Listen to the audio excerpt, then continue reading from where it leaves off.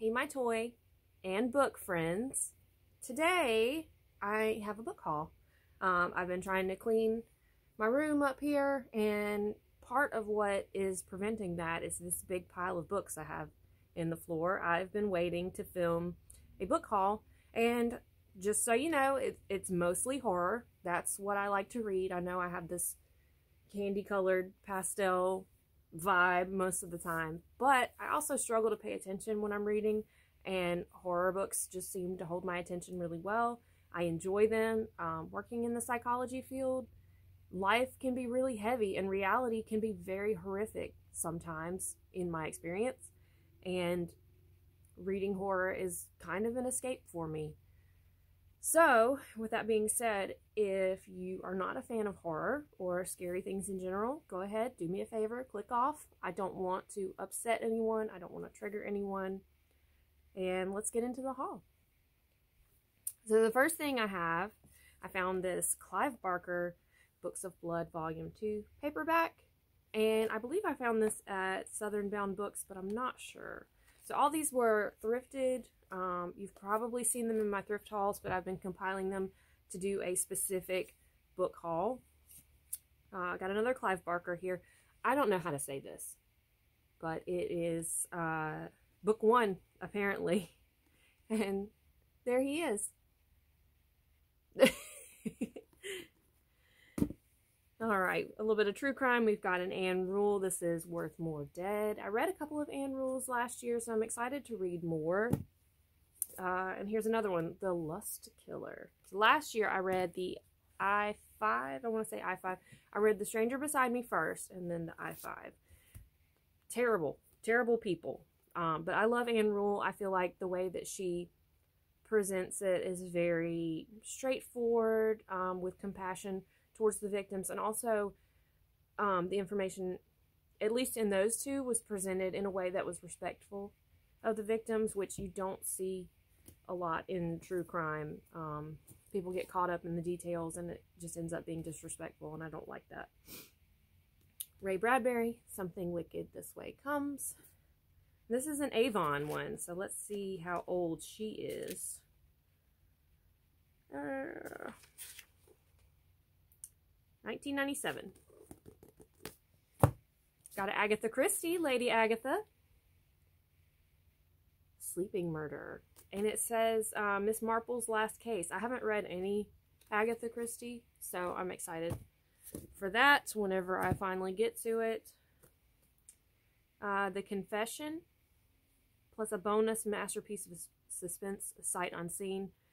Mary Roberts Rinehart. Uh, I don't know anything about this other than it looks spooky and it's a zebra.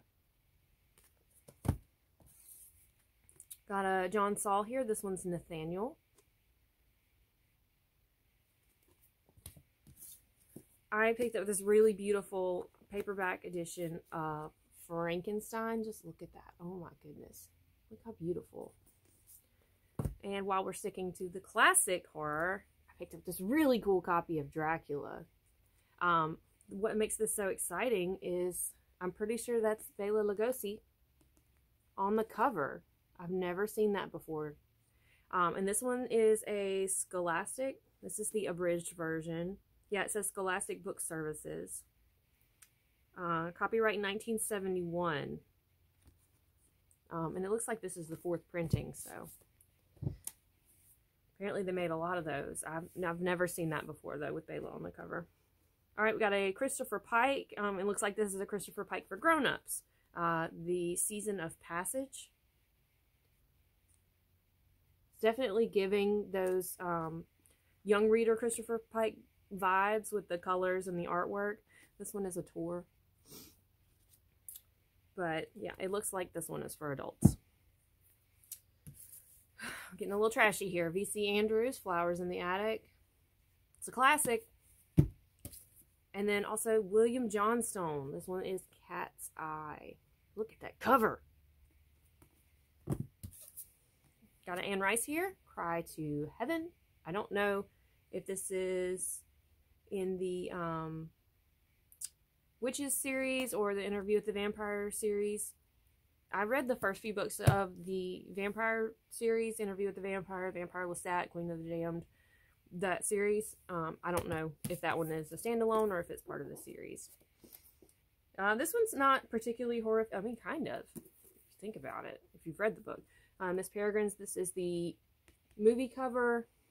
So I wanted that for my collection. I have most of them. I'm not sure if I have all of them. But I have read that one. I actually liked the movie better, which usually isn't the case with books. But yeah, um, maybe because it was Tim Burton, and I just love him so much. More five-minute mysteries. Um, I got this one pretty recently. I think it was in a pretty recent haul, so I don't think it was in the pile for very long. Yeah, copyright 1991. I think this would be a good one to have in the car, because sometimes I'll have um, a little bit of downtime in between deliveries hopefully I won't be doing that much longer since I got my degree. Hey! But since a college degree doesn't automatically equate to a windfall of money, I'm still a delivery person. so I like to keep a book in the car to read in between deliveries. All right, we've got Nosferatu by Joe Hill. Now, last year I read The Fireman, and I really, really loved it. Um, I don't know if this is similar or if I will like it as much, but I'll certainly give it a try because um, Fireman was one of my five-star reads for last year. A little bit of silliness, sense and sensibility, and sea monsters. I couldn't not. I really hope this is like a monster romance because I love a good monster romance. Okay. In the same vein as Christopher Pike, we've got an R.L. Stine for grown-ups. It says, the stunning adult and they underlined it. Fiction debut of the best-selling author, and this is superstitious. And, and, there's the man himself. So I collect Goosebumps and I collect Stephen King books. Um, collect lots of lots of books actually. I collect Nancy Drews, Hardy Boys, um, and then a lot of young horror and also vintage horror paperbacks, as you see. So there's a lot of Stephen King and a lot of R.L. Stine on my shelves. Speaking of Stephen King, I've got this hardcover of Duma Key. Um, I also have the Hodder paperback of this one. I'm only missing uh, a couple of the Hodder paperbacks to have what I believe is all of them, but I'm not sure. And then another Stephen King, we've got Mr. Mercedes hardcover, and then the Regulators. Um, I'm not sure if these are first editions, but they look like them. Okay, and then another R.L. Stine, Dangerous Girls. I'm not sure if this one is for adults or if this is a YA, but I'm really excited to read R.L. Stine that's not Goosebumps or Point Horror or, you know, young reader books. Got this book of vampires. It just looked cool. Uh, apparently this person has written, or this company has written a few other quirky books like this. Um, it says this, the Book of Vampires is the first serious study of vampirism in the English language. It assembles reports of vampires from all ages and from all countries and discusses various theories of vampirism. So that sounds like a good time. 1987. Uh, what a great year. This is the year I was born. Okay. Uh, more humor. We've got You Suck by Christopher Moore. Um, and I want to say the sequel to this is, or this is the sequel to Bloodsucking Fiends, or that's the sequel to this one. I don't know. There's You Suck and Bloodsucking Fiends. I don't know what order they're in, um, but I read both of them. And they're, they're pretty silly. Vampire, like horror comedies. Like, uh, John dies at the end a lot like that. John dies at the end might be a little bit more graphic. Okay, um, got the Hazelwood paperback.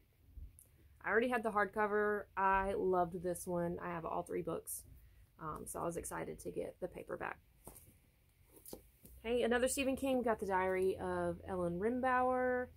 Um, and this was an exciting find because not too long after I found the DVD or I found the DVD and the book. I don't know. But I have both of them. So I'm very excited about that. Because I really enjoyed that one. I read it, I think I was in high school, and the TV miniseries was on, which is the DVD. So we've got Pulp Fictions, just uh, some pulp stories. I guess there's one by Stephen King, so that's exciting. Just looked cool. I picked it up. Um, I love to look at pulp novel covers. That's one of my favorite things to search on Pinterest, like old horror covers and pulp novel covers. I just think the artwork is so cool. So this is Rebecca by Daphne du Maurier, I think is how you say that. Sorry if I butchered it. Um, I think I got this one from the library sale. It doesn't have the jacket. The copyright is 1938. I don't know which printing this is. It doesn't say. Um, maybe it's from like a mystery readers or book of the month or something. And then another one that's missing the cover is Rosemary's Baby. And I'm a little bit afraid to read this. Thomas Harris, Red Dragon. Excited for that one. And it looks like a very old edition. I don't know if it's a first printing. Let's see. It says also by him is Black Sunday, so maybe this is pretty early in his career. Uh, the copyright on this one is 1981. So maybe. I don't know. Looks pretty old. Found this book, Welcome to Night Vale. Um, it was giving me Buffy vibes. One of the blurbs is from Wil Wheaton, so that's pretty cool. Hey, Ayla, if you're still watching. This looked like a good time. I think it's like a, you know, kind of like Buffy, like a town that has weird vibes. I can't remember. I, I read it in the store, like read the synopsis or whatever. Thought it was worth picking up forever ago, so that's here. Another Anne Rice. We've got The Tale of the Body Thief, and it does say that this one is in the Vampire Chronicles. So that's cool. Oh, you know, she died a couple years ago, or a year ago. She's Anne's not here anymore, so it's nice to have her books. And then I got these two, like, time life of books, if you will, The Unexplained. Um, we've got Mysteries of Mind, Space, and Time. Number six and seven. So, you know, it's like a book version of Unsolved Mysteries, I guess. That's cool. So we've got Irish Lake Monsters just right off the bat and alchemy. So, yeah, that sounds fun. And just as a bonus, I got a couple of TV DVDs here besides Rose Red. Um, and you've probably seen these in my thrift haul, so I'm sorry if this is repetitive. Return of the Living Dead and the Halloween Tree. And I loved this. I rented this. We had a little um, corner store down the street from where I lived in my little, little town that I grew up in and they had like a small section of movies that they would rent and I remember this was there and I rented it quite frequently. Okay, 13 minutes. Wow. I managed to get it in a reasonable amount of time. Yeah, this is a big old pile of books. Thank you so much for sticking with me through this. Let me know, what do you like to read? Let me know what you liked, what you thought. You picked up any cool books lately? I'd love to know about it. Let me know down in the comments. Let's have a conversation. Remember, the world's a better place with you here in it, and you matter. By the way, whether you read horror, romance, it doesn't matter. Please read. It's good for you. I like you just the way you are, no matter what you read. Have a good one, and I'll see you in my next one. Bye!